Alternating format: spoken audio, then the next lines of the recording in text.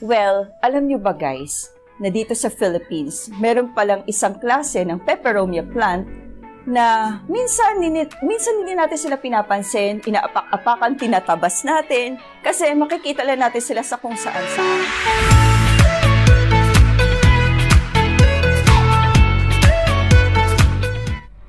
Hello guys! Welcome back to our channel. At sa mga baguhan sa channel to, please don't forget to subscribe, like this video, um, mag-leave kayo ng comment down below, at i-hit nyo na rin ang notification bell para ma-notify kayo kung mayroon akong bagong video uploads.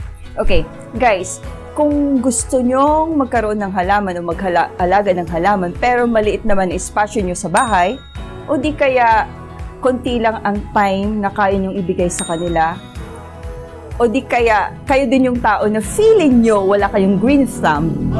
Tingin ko guys, itong plant na i-introduce ko sa inyo today ay pwede-pwede ninyong alagaan o siguro magkaka-interest kayo. Ito ay ang ating mga peperomia plants or radiator plants. Okay, balikan muna natin ang salitang peperomia. Saan ba galing ang salitang peperomia? Ito ay nanggaling sa dalawang Greek words na ang una ay ang peppery, ibig sabihin pepper, at ang pangalawa ay homoios. Ang ibig sabihin ay like or resembling. So, kawangis or kahugis or kahawig ng pepper. Hindi ko alam ang pepper sa Tagalog. Eh. Paper alam ko. Okay, so, peppery homoios equals peperomia. So, yon. Now, ang common name ng mga peperomia plants natin ay radiator plants. Ngayon, bakit sila tinawag na radiator plants? Dahil gustong-gusto nila ang warm air at sunlight. Pero kayang-kaya din naman nilang mabuhay sa dry and wet climates. Okay? Pero mas gustong-gusto talaga nila yung saan may heat source, kung saan maalinsangan, mabanas, mas gustong-gusto nila yung part na yon sa inyong bahay or part na inyong garden. So, yun ang gustong-gustong nila. Kaya sila tinawag na radiator plants. Merong 1,500 species ng mga peperomia at hindi ko sila iisa-isahin dahil mauubos oras natin. So, eto, uh, ako meron lang akong apat pa na, na varieties na inaalagaan ko. At eto, meron akong uh, peperomia obtusifolia. Common name niya ay baby rubber plant. Tapos, eto naman, Peperomia nivalis, na ang ibig sabihin ay, ang common name ay Prayer peperomia. Ito naman ay Peperomia magnolifolia or spoon leaf peperomia kasi ang hugis ng kanyang dahon ay parang kutsara. At lastly guys, popular sa mga hanging plants na peperomia ay ang ating Cupid heart peperomia or Cupid peperomia. Ang scientific na name naman ito ay Peperomia scandens. Okay. Now, pag-uusapan natin ang kanilang sunlight requirement. Ano ba ang gusto ng ating mga peperomia plants? Gustong-gusto nila ng medium to full sun. Okay, pero hindi pwedeng direct sunlight kasi masusunog ang kanilang dahon. So, medium to full sun, pwedeng-pwede sila. Pero pwede rin naman natin silang ilagay sa loob ng bahay provided na makakapag-provide tayo ng light na kailangan-kailangan nila. Kung halimbawa ang gamit ninyo ay yung fluorescent light, pwedeng naka-turn on lang sila um, siguro mga kalahating araw hanggat makakuha sila ng light na kailangan nila. Or pwedeng ilagay natin sila malapit sa window kung saan makakakuha sila ng morning sun. So, ang peperonia plants natin, they are um, good as indoor plants also. And second, watering. Okay, paano ba natin didiligan ang peperomia plants? Diligan lang. Siyempre, kumuha lang tayong tubig, didiligan natin. Okay, pero kailan? Okay. Um, candidate sila lagi sa rotting or pagkabulok ng mga ugat nila or stem niya pag na-overwater sila.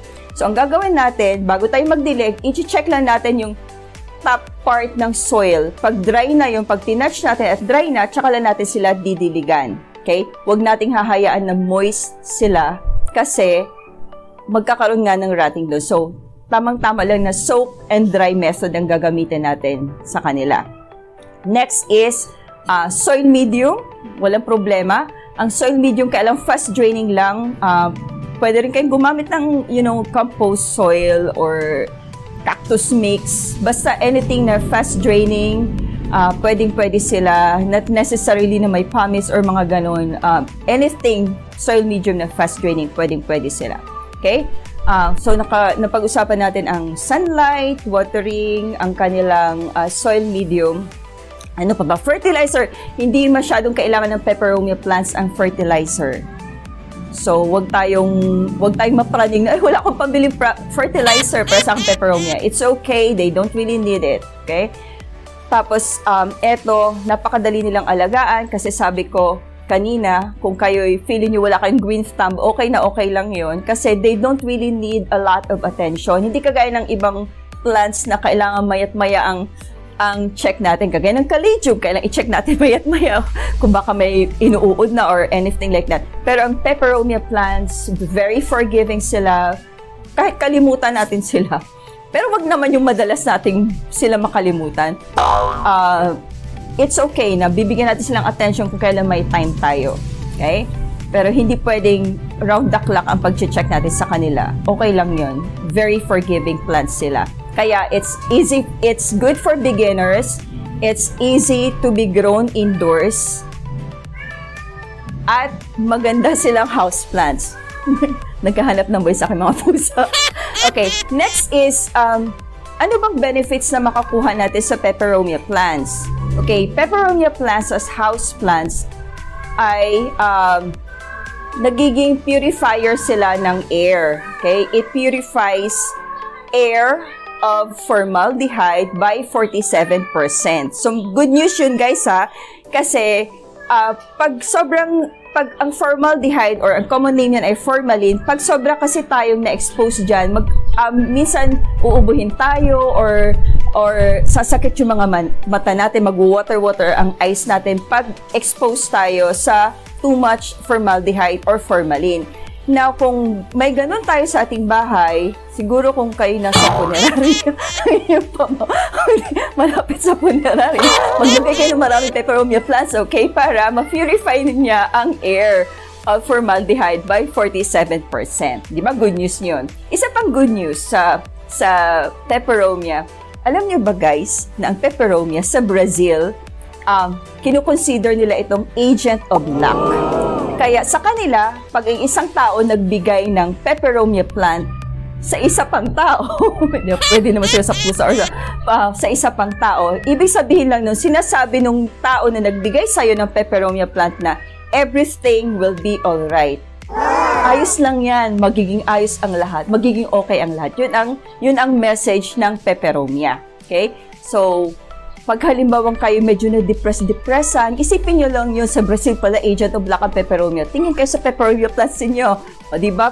Feel, feel good na tayo kasi agent of black sila. Sinasabi na everything will be alright. Okay, ano pa ba ang pwede kong sabihin tungkol sa pepperomia plants natin? Well, alam nyo ba guys, na dito sa Philippines, meron palang isang klase ng pepperomia plant na minsan, minsan hindi natin sila pinapansin, inaapak-apakan, tinatabas natin, kasi makikita lang natin sila sa kung saan-saan.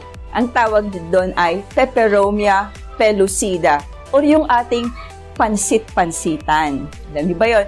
Um, at first, hindi ko rin kasi alam na kabilang siya sa Peperomia family eh. Hanggang nung nag-research ako about Peperomia plants, may mention kasi doon eh na ang Peperomia pala halos iisang klase lang ang itsura ng kanilang bulaklak at yun ay parang mga buntot ang kanilang bulaklak. Tapos, ang mga leaves nila, mas madalas heart shape or oval ang shape. Uh, madalas green, ganun, or waxy. So, sumagi sa isip ko yung pansit-pansitan. Sabi ko, parang peperomia din ang pansit-pansitan. Kaya, nag-research ako, um, ginoogle ko yung pansit-pansitan, and true enough, talagang siya pala ay nabelong sa Peperomia family at ang kanyang scientific name ay Peperomia pellucida. Now, sa Philippines guys, ang pansit-pansitan ay isa sa 10 medicinal plants na in-endorse ng Department of Health. Okay, anong ginagawa nito ah, sa atin ng pansit-pansitan? Kung ikaw ay mataas sa uric acid, if kung ang uric acid level mo ay napakataas, ito ay, um, kung ayaw nyong maniwala sa mga synthetic na mga gamot, pwede nyong, pwede nyong gawing concoction ang pansit-pansitan. Pwede nyong i-prepare uh, bilang tsaa ba yun or iniinom. So, pwede nyong pakuluan lang ang pansit-pansitan or pwedeng gawing salad kung mataas ang uric acid level ninyo. Kasi ganun ang ganun ang recommendation ng DOH no na 10 isa siya sa 10 um, medicinal plants na, na inendorso ng DOH. Okay? Sa ibang bansa, guys, uh, ginagamit nila ito bilang gamot sa mga acne or yung mga tigidig sa mukha. yung ginagamit, tapal-tapal sa mukha nila. I think sa Bolivia ata yun. Sa ano naman sa India, ginagamit nila ito sa pampa, pampatigil ng dugo. So ilala, ilalapat lang nila yung mga dahon-dahon ng anang anang pansit-pansitan sa sa mga tawag nito sa mga mga sugat or mga dinudugo ganyan. So yon. So generally peperomia plants or jator plants are easy house plants to care for, good for beginners. Meron silang medicinal values at meron rin silang um, ano, pampag-good vibes sa atin kasi agent of luck sila. Okay? So guys, I think that would be all for today. But before that, may isa shoutout ako. Meron tayong mga bagong subscribers. Thank you so much for subscriber. uh, for sub, sub, subscribe. Thank you so much for subscribing to our channel. Okay? Um, hello to Roxanne Maliari. Um, Hobbies and Learning, Bell David or Bell David. Okay? Roxanne Abelia or Roxanne Abella, Abelia siguro, MPTV Arana, Natasha Kayakap, Jerwin Dexter Guillermo, thank you. Aikakan, Hermie, Christopher Ray Pakulanan, and John Eric Mariano. Thank you so much for subscribing. Pero ito, yung dalawang tao na na-mention ko na panghuli, parang kilala ko sila. Para ito si Christopher Ray Pakulanan ay dati kong kaopisina. At ito naman si John Eric Mariano ay first cousin ko. okay? So, re, re, si, so, nabubulol na ako guys. So, yun lang. Um, hindi ko lang alam guys kung na-mention ko na ang peperomia plants para natin ay not so, hindi malayong kamag-anak ng paminta. hindi ko lang buo uturong paminta. Okay, yung black pepper na ginagamit natin sa pagluluto, hindi sila malayong magkamag-anak mo. Mag-isang pamilya lang sila. Okay, so, that would be all for today. Thank you so much for watching and subscribe, like, comment, hit the notification bell. Okay? Happy New Year to all of you. And don't forget to live, laugh, love. Bye!